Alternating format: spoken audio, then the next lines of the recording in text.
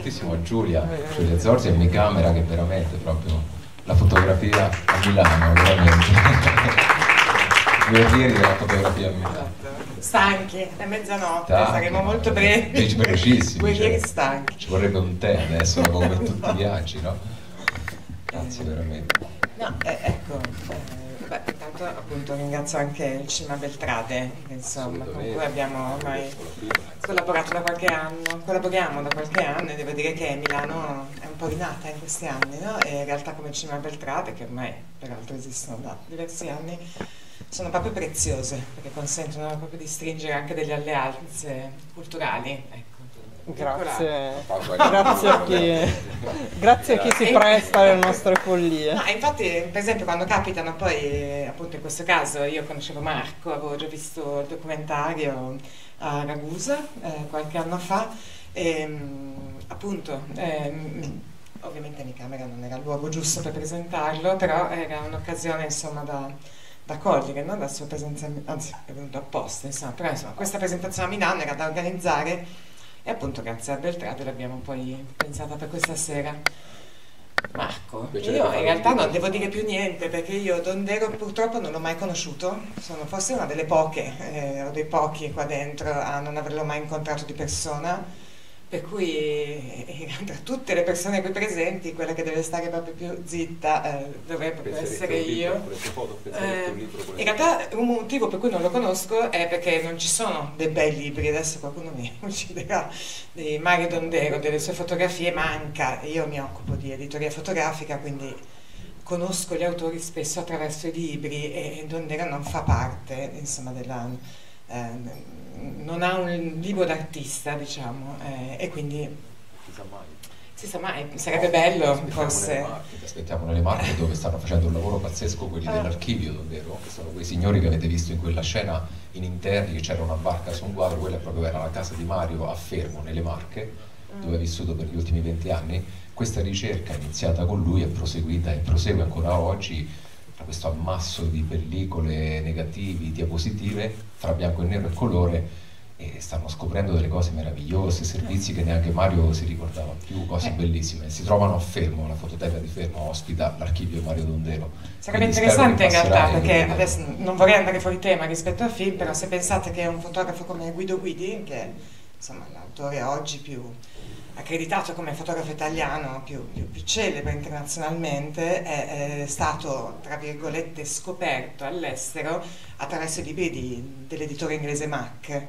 Adesso ne, ne ha pubblicati tanti nel giro di pochi anni in realtà è stato proprio il libro a sdoganare il lavoro di Guido Guidi, quindi il potere del libro fotografico è molto grande. Potrebbe aiutare anche, ma non so, mi viene da dire che anche Berengo Gardin non ha un bel libro e ne ha fatti più di cento. Per cui non, no, esistono, fare un buon libro che, che un- che trovi, che incontri un pubblico internazionale aiuta anche l'autore a essere conosciuto a, a un pubblico molto più vasto, insomma, no? un pubblico internazionale che è il pubblico con cui eh, io ehm, dialogo insomma, abitualmente, sono meno legata a una realtà solo italiana. Eh, volevo però, ecco, per cui sarebbe bello, forse da qui No, potrebbe nascere proprio sì, l'idea sì. di fare un libro Che con le l'archivio fotografie è molto attivo e proseguono e stanno adesso cercando di sistemarlo sempre meglio. I figli ovviamente sono gli erediteri, quindi Maddalena, Elisa e Bruno, i tre figli di Mario e quindi Ecco, ma allora proprio partire, tu da dove sei partito? Dall'archivio? Cioè, come No. è cominciata questa... Eh, Sono partito nel 2004 conoscendo Mario e per un evento che c'era lì, proprio che c'era lì nelle Marche. Ero stato invitato a fare un documentario sul paesaggio marchigiano. Mario ha vissuto lì negli ultimi 20 anni per una serie di coincidenze, insomma poi ci racconteremo con calma, con chi vorrà.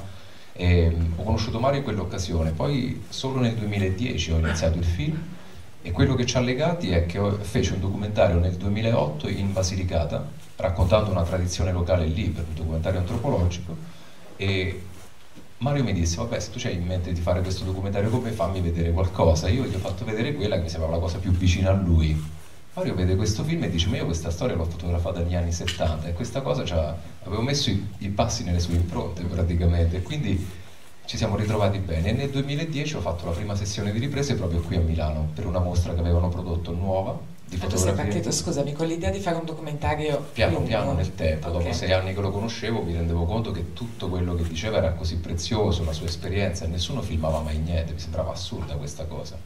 Quindi prima la timidezza, la differenza di età eccetera ho temporeggiato, poi sempre progressivamente conoscendolo meglio fra eventi culturali, cene eccetera, siamo diventati amici nel tempo, questa cosa della Basilicata ha scatenato questa amicizia fortissima e nel 2010 mi ha invitato a filmarlo per una prima mostra di novità, cioè l'avevano invitato un gruppo di, addirittura un bureau di avvocati e avevano finanziato e sponsorizzato una mostra di fotografie flaneristiche fra Parigi e Milano. E in occasione di questa novità Mario mi disse vieni così vediamo quello che succede, iniziamo qua. E poi la regione Marche mi ha dato un piccolo fondo perché è diventata una cosa seria solo che io ho fatto un po' Stanley Kubrick, ho fatto incazzare quelli della regione Marche, sono andato avanti invece che due anni, cinque anni, questi mi volevano togliere i soldi, insomma un sacco di minacce, però invece li ringrazio tantissimo, hanno capito che ero in buona fede, mi dispiaceva lasciare oramai questa amicizia e, e perdere quel materiale che raccoglievo. Ci siamo poi capiti e quindi abbiamo chiuso il film perché Mario mi, mi ha chiesto di esatto, chiudere. Esatto, stavo per chiederti proprio questa cosa, no? come sì. prima mi hai raccontato, insomma, la, la fine la corsa finale, sì, insomma, a Gash per far, far vedere... No, eh. avevo deciso di non finirlo più il film a quel mm. punto, che avevo trovato gli accordi con la regione, eccetera, volevo lasciare tutto questo mucchio di immagini come un film fiume, sullo stile di Alberto Griffi, diciamo dei nostri grandi maestri del documentario di strada, così. E invece Mario mi ha detto no, abbiamo lavorato così tanto, adesso i medici mi hanno detto che io sto proprio... Lui già pagava un tumore da molti anni prima che io lo conoscessi, insomma, e quindi mi ha detto che gli avevano dichiarato che, sta, che stava giocando i calci di rigore. E quindi mi ha sorpreso e così ho chiamato questa montatrice abbiamo montato il film in, 8 mesi, 9 mesi e poi Mario l'ha visto eh, perché è uscito a maggio. Mi ha abbracciato e mi ha detto sei promosso Markovic? Perché mi sembra abbastanza comunista mi sembra abbastanza comunista e mi ha abbracciato e gli è piaciuto il film insomma. E il titolo l'ha scelto lui o l'hai scelto tu? L'ho scelto io perché era una frase che mi diceva mio padre che era un giocatore di biliardo e Mario un giorno mi fece arrabbiare perché eh, in un giorno solo facemmo dalle Marche a Roma per prendere delle foto, poi una mostra a Firenze nel pomeriggio e aveva un'altra mostra a Senigallia di nuovo nelle Marche la sera, quindi abbiamo fatto questo rettangolo, era dispendioso a livello di guida, era una gran fatica, ma lui così col bicchiere parlava con le persone eccetera, allora sono andato là un po' nervosamente, Mario adesso mi fai ammazzare per strada, lui mi ha fatto calma e cesso, ed era una frase che ci diceva nostro padre da bambini, quindi mi è sembrato proprio perfetto. per lui, perché poi la sua vita è stata una vita di calma e gesso, insomma Mario è stato bello perché mi ha portato dall'altra parte di me, cioè io come regista ovviamente amo lavorare con la fotografia, vengo dalla pittura, quindi stiamo preparando adesso, anzi c'è Michele Casula in fondo che ci porterà nei prossimi giorni in Sardegna perché inizierò lì la prima sessione di riprese, mi sono particolarmente emozionato e felicissimo della sua presenza e inizierò un lavoro eh, sul cinema italiano visto dagli occhi della scenografia di Giancarlo Basili e che vedremo tra circa 6-7 anni. No, no, no, no. ho gli accordi con la regione che mi hanno detto già fin da ora che mi taglieranno la testa e quindi ci piace lavorare con un direttore della fotografia, comporre l'immagine, costruire i pieni di scuri, chiari, lavorare con delle luci. Mario mi ha spostato dall'altra parte di me, cioè la sua poetica, della semplicità, della, forse della scuratezza, ma della sostanza mi hanno spinto verso questa direzione con le immagini. Quindi ho, ho pensato il film come se fosse visto dagli occhi di un terzo passeggero, quindi ci sono inquadrature da arresto, dietro al sedile, no? lui di spalle, cose da arresto effettivamente, ma mi piaceva portare, la mia fortuna di stare sempre con Mario mi faceva pensare che il film doveva essere visto da un passeggero che aveva la stessa fortuna mia, quindi seguiamo lui nelle mostre così, allora il film l'ho pensato con questa direzione, l'ho fatto tutto questo stile un po' crudo, con degli audio sbagliati, però ci ho provato insomma e spero che Mario ritorni per quella persona fantastica che è. Ecco. Assolutamente sì. Io non vorrei dilungarmi tanto anche no, perché no, ehm, però vorrei chiedere a voi se qualcuno vuole chiedere qualcosa a Marco, è l'occasione per farlo. Questo documentario. Io ho una curiosità. Eh. Questo archivio che si trova a Fermo, ehm, le dimensioni, chi lo cura, è accessibile, sì. che cosa ne può ancora saltare fuori? Sta saltato fuori veramente di tutto.